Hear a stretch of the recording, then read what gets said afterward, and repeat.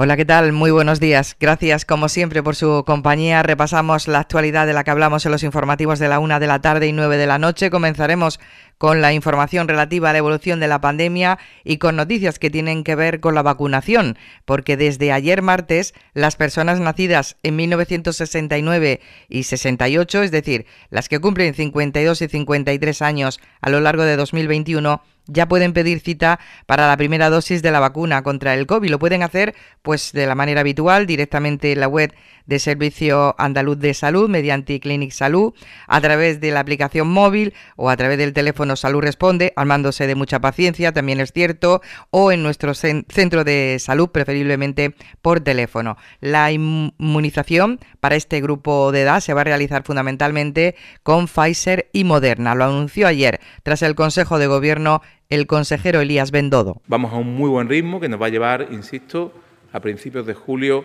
a empezar a tener eh, un porcentaje de la población muy importante ya inmunizado.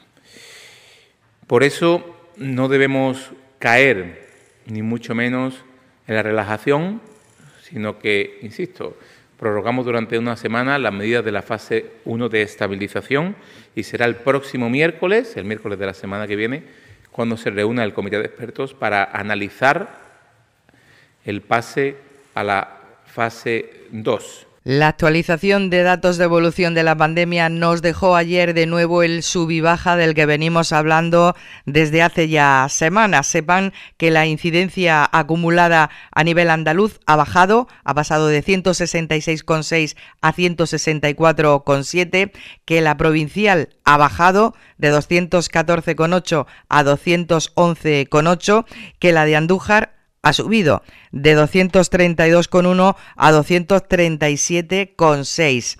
La provincia sumó ayer 74 nuevos positivos y 197 personas curadas. Afortunadamente no añadíamos ningún fallecimiento. Una cosa, un dato curioso que ha ocurrido eh, con la actualización de datos que ha hecho la Junta de Andalucía es que a nuestro municipio nos han restado un fallecimiento por coronavirus, que se nos había añadido de más. Al parecer, no son 45 las personas que han fallecido en Andújar por coronavirus, sino 44. Son datos que ayer en su web actualizó la Junta de Andalucía, que como les digo, nos deja una incidencia acumulada un poco más elevada que la del día 24, de 232,1 a 237,6, añadiendo 10 positivos y 13 personas curadas. Lopera ha sumado un positivo, sube su incidencia a 164,3.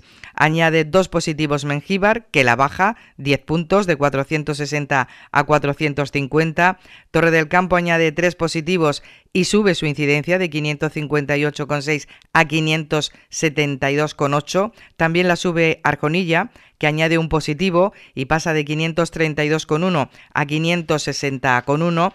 Dato curioso de la higuera es que había conseguido al día de ayer justamente eh, haber nivelado sus cifras. Las 141 personas que han sido infectadas desde que diera comienzo la pandemia por coronavirus se habían curado al día de ayer, las 141 y sin ningún fallecimiento, pero ayer añadió un positivo más y por lo tanto añaden ya eh, un seguimiento a hacer. Han dejado su incidencia en 59,3 y la tenían a cero.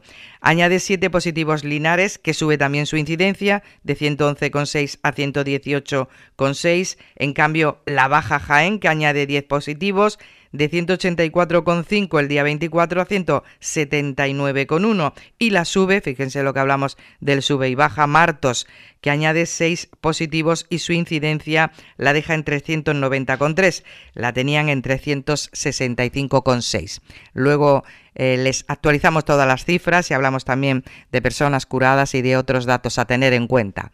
En Andújar nos eh, haremos eco eh, de la noticia de ayer, el Obispado de Jaén y el Ayuntamiento rubricaron la firma del convenio de colaboración a través del cual la Iglesia cede al Ayuntamiento el uso del antiguo templo de Santa Marina para el desarrollo de eventos. El alcalde y el vicario de la diócesis, Francisco Juan Martínez Rojas, sellaron con su firma el convenio. Creo que es un motivo de satisfacción el que se pueda renovar este convenio de cesión de la iglesia de Santa Marina que mm, el primer convenio, si se hace una valoración, creo que una valoración altamente positiva. Se ha mantenido un templo, una joya desde el punto de vista patrimonial, con toda una rica historia aquí en la ciudad de Andújar y se ha compatibilizado, digamos, ya lo que es el edificio con usos culturales que han sido, por su misma ubicación, que es una ubicación privilegiada, ha sido pues un espacio en el que la historia cultural de Andújar ha tenido un nuevo ámbito en el que desarrollar su rica actividad y eso gracias a un entendimiento fluido y fácil que existió con el ayuntamiento de Andújar y que ha vuelto de nuevo entre el obispo y el ayuntamiento a manifestar pues las buenas relaciones que hay cuando lo que se trata es de buscar el, buen, el bien común de la ciudadanía. Una noticia más, Andújar contará a partir de julio con una nueva lanzadera Conecta Empleo. Lanzaderas Conecta Empleo es un programa gratuito de orientación laboral para ayudar y guiar a personas en situación de desempleo a reactivar su búsqueda de trabajo con nuevas técnicas, herramientas, reforzando las competencias transversales y digitales. Quienes participen asistirán a sesiones virtuales y presenciales, contarán con el apoyo y el asesoramiento de técnicos especialistas para aprender a realizar un itinerario integral de búsqueda de empleo, actualización de currículum, simulación de entrevistas de trabajo, contacto con empresas. Quienes estén interesados tienen hasta el 28 de junio para formalizar su inscripción y lo pueden hacer directamente en la web lanzaderasconectaempleo.es.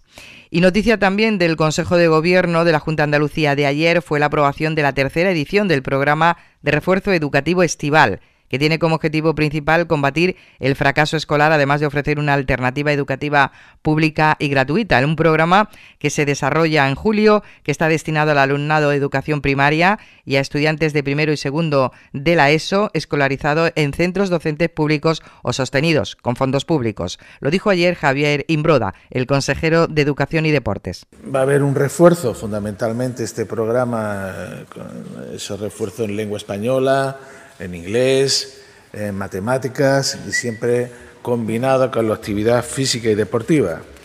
Además, decirles que eh, serán los centros educativos los que se adhieran al programa de forma voluntaria, eh, siempre que cumplan con una con unos requisitos mínimos exigidos entre los que se encuentran, por ejemplo, haber desarrollado el programa de acompañamiento escolar durante este curso, contar con el apoyo del claustro de profesores e informar al consejo escolar o contar con las condiciones de habitabilidad más adecuadas para el desarrollo del programa, entre otras. Se lo ampliamos en los informativos de hoy con el repaso a la agenda del día en la que se va a renovar el convenio con Cruz Roja por parte del Ayuntamiento y Cruz Roja en materia de empleo y formación y esta tarde se presenta el libro de Luis Miguel Sánchez Tostado La transición oculta.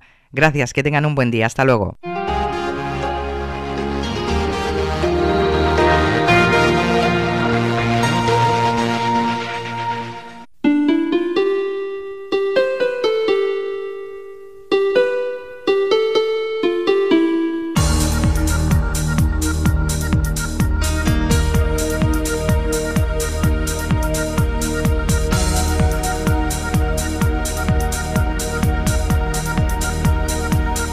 Radio Andújar, profesionales al servicio de la información.